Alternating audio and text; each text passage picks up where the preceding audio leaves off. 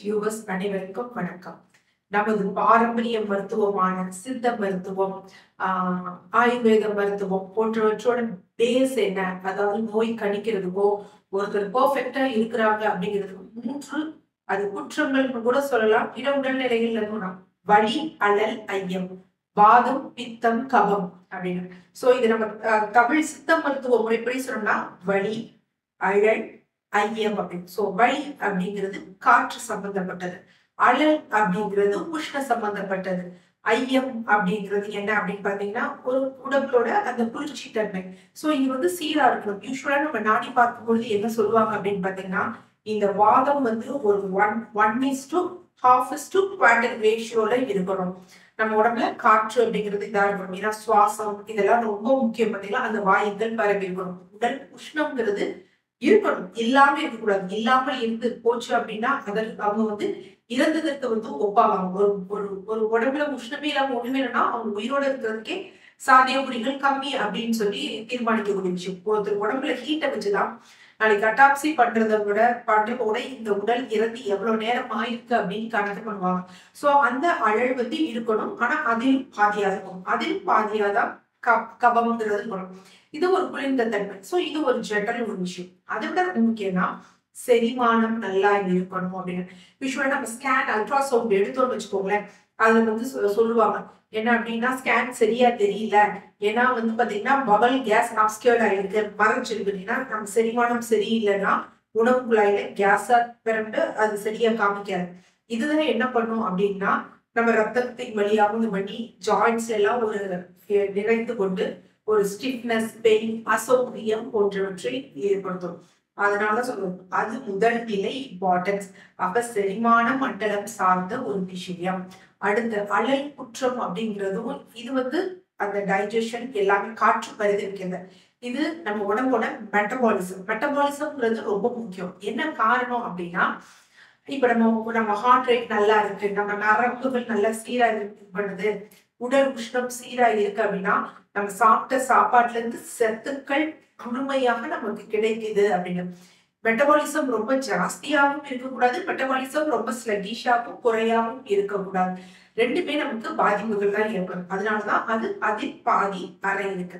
அதை தாண்டி இந்த கபகுற்றம் நம்ம உடம்புல இருக்கக்கூடிய செக்ரீஷன்ஸ் அதெல்லாம் நமக்கு ரிலேட் பண்ணது. ஸோ இதுல நிறைய இருக்கு. நம்ம உடம்பு வந்து பாத்தீங்கன்னா இன்னொரு சொல்லுவோம் வாத தேகம் அதாவது தேகம்னு சொல்லுவோம். வாதல் பித்த தேகி பித்த கலப்பு தேகி. அதையும் இதையும் கன்ஃபியூஸ் பண்ணாதீங்க. நான் நாடி நிலையில தான் வந்து இதை வந்து நான் உங்களுக்கு வந்து சொல்லிட்டு இருக்கேன். ஸோ இது வந்து இதா இருக்கும். இப்போ ஒரு வாதம் சம்பந்தமாகவும் இருதய சம்பந்தப்பட்ட பிரச்சனை வரும். ஒரு பித்த சம்பந்தமாகவும் இருதய சம்பந்தப்பட்ட பிரச்சனை வரும். கபம் சம்பந்தமாகவும் இருதய சம்பந்தப்பட்ட பிரச்சனை வரும். ஸோ ஒரு இருதயத்தோட வாதம் சேர்ந்து இருந்ததுன்னா ஸோ அவங்களுக்கு இருதய சம்பந்தப்பட்ட பிரச்சனைகள் எதனால வந்திருக்கலாம் அப்படின்னா அவங்களுக்கு அடைப்பு போன்றவை எல்லியல் கொலஸ்ட்ரால் ஸோ அந்த மாதிரி விஷயங்களால் இருக்கலாம் அலல் குற்றங்களால் சொன்னா டைஜஷன் ஸோ அந்த மாதிரி இருந்தா கப குற்றங்களால இருந்தது அப்படின்னா அதற்குரிய நாடி நிலைகள் வந்து வேற. அதை வைத்துதான் நான் நாங்கள் பாரம்பரிய மருத்துவம் ப- படித்த சித்த மருத்துவர்கள் ஆயுர்வேத மருத்துவர்கள் வந்து ஒரு நோயை வந்து கணிப்போம். சரி ஓகே இதெல்லாம் வேணாம் டாக்டர். எனக்கு அந்த வாதம் பித்த கவம் நார்மலா இருக்கணும். வாதம். ஃபர்ஸ்ட் ஸ்டேஜ் பித்தம் செகண்ட் ஸ்டேஜில் கபம் தேர்ட் ஸ்டேஜில் இருக்கணும் அப்படின்னா என்ன உணவுகள் வந்து நாங்க ரெகுலரா எடுத்துக்கணும்? எங்க உணவுல அப்படின்னா ஒரு எட்டு உணவுகள் இருக்கு. அது உணவு கண்டிப்பா எடுத்துக்கணும். ஸோ அதுல என்னென்ன அப்படின்னு பாத்தீங்கன்னா மிளகு சீரகம் பூண்டு வெந்தயம் பெருங்காயம் மஞ்சள் சுக்கு ஏலம். இந்த எட்டுமே வந்து நம்ம யாரு உணவுல தினமும் எடுத்துக்கிறாங்களோ அவர்களுக்கு நன்மை பயக்கும். சோ மிளகு. யூஸ்வலா சொல்லுவாங்க. பத்து மிளகு இருந்தால் பகைவரின் வீட்டிலும் பயம் இல்லாமல் உண்ணலாம் அப்படின்னு. சோ நம்ம உடம்புல இருக்கக்கூடிய அவ்வளவு டாக்ஸின்ஸ் நஞ்சு கழிவுகளை வந்து வெளியேற்றக்கூடிய தன்மை இருக்கு செரிமானம் செய்யலையே அதுவும் முக்கியம். கபகுற்றம் அதிகமாகி ஃபீவர் அந்த மாதிரி சளி அந்த மாதிரி இருக்கா அதுவும் அது சரியா இருக்கும். இல்ல உடல்ல அழல் ஜாஸ்தியா இருக்கா அதையும் அது சரி பண்ணும் சோ அப்ப என்னன்னா மிளகு ரொம்ப முக்கியம். அடுத்து சீரகம். சீரகம் அப்படின்னாலே சீர் அகம். நம்ம அகத்தை வந்து ரொம்ப சீரா வச்சிருக்கோம் பாடியை வந்து இன்டர்னல் மெட்டபாலிசம் சீரா வச்சிருக்க தன்மை சீரகத்துக்கு உண்டு.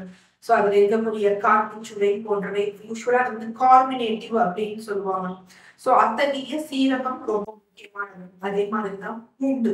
சோ பூண்டுக்கும் அத்தகைய தன்மை இருக்கு. கவக்குற்றம் உள்ளவர்களும் பூண்டு எடுத்துக்கலாம். நம்ம சைனசைட்டிஸ் போன்ற விஷயங்கள பார்த்துருக்கோம். மாதிரி ஹார்ட் ப்ராப்ளம் போன்ற விஷயங்களையும் பார்த்துருக்கோம். கேஸ்ட்ரிக் ப்ராப்ளம் ஆகி ஏப்பம் விட கஷ்டமா இருக்கா? அப்பையும் நம்ம பார்த்துருக்கோம். சோ அத்த அத்தகைய பூண்டு அதுவும் ஒரு திரிதோட சமணி வலி அலல் ஐயம் மூன்றையும் வந்து பாத்தீங்கன்னா அது சீராக இருப்பதற்கு வந்து அது பயன்படும். அதே மாதிரி பெருங்காயம். சோ பெருங்காயம்ங்கிறது இன்றைக்கு இருக்கக்கூடிய பெருங்காயம் நிறைய மைதா காம்பினேஷன்ல வந்திருக்கு. சோ அந்த மாதிரி இல்லாம முடிந்த அளவு கட்டி பெருங்காயத்தை வந்து எடுக்கணும். அதுவும் அதே மாதிரிதான் ஒரு செரிமானம் சரியில்லை இல்ல காய்ச்சல் எல்லாவற்றிற்கும் ஒரு உணவுனாலே அதற்கு நம்ம பெருங்காயம் சேர்க்காமல் எதுவுமே நம்ம தயாரிக்க மாட்டோம். சோ அந்த மாதிரி என்ன பண்ணலாம் அப்படின்னு பாத்தீங்கன்னா பெருங்காயம். அதுவும் ரொம்ப முக்கியமான விஷயம். மஞ்சள். ஸோ மஞ்சளுக்கு இல்லாத ப்ராப்பர்ட்டிஸே சொல்லக்கூடாது. அதில் இருக்க குறுக்குமிக்கு எல்லாமே சேர்த்து. அது என்னது? அழுகலகற்றின்னு சொல்லுவாங்க. ஸோ அந்த மாதிரி ஆன்டிசெப்டிக் ஆன்டிபயோட்டிக் ஆன்டிபயோட்டிக் எல்லா தன்மையும் எதுல இருக்கு அப்படின்னு பார்த்தீங்கன்னா மஞ்சள் இருக்கு. ஸோ அந்த மஞ்சளும் ரொம்ப முக்கியமான ஒரு விஷயம். இதனுடன் என்ன அப்படின்னு பார்த்தீங்கன்னா சுக்கு ஏலம். ஸோ சுக்கு அப்படிங்கிறப்ப நார்மலா காலையில் இஞ்சி கடும்பகல் சுக்கு மாலை எதிரே கடுக்காய் ஸோ நம்ம எடுக்கக்கூடிய உணவுல மதிய நேரத்துல ரொம்ப முக்கியமானது சுக்கு. அந்த அலல் குற்றத்தை தணிக்கக்கூடியது. ஸோ அந்த மாதிரி இந்த சுக்கு எடுத்துக்கணும் ஸோ சுக்கா வந்து மதிய உணவு முடிந்த பிறகு ஒரு சுக்கு குடிநீர் மாதிரி வந்து நம்ம நார்மலா எடுத்துக்கலாம். அது மாதிரி நம்ம காரக்குழம்பு கொஞ்சம் காரமாக காரமா இருக்கும் அப்படின்னா அதுல அந்த பேஸா இது பண்றதுக்கு சுக்கு போன்றவற்றை இது பண்ணலாம். அதே மாதிரி ஏலம்.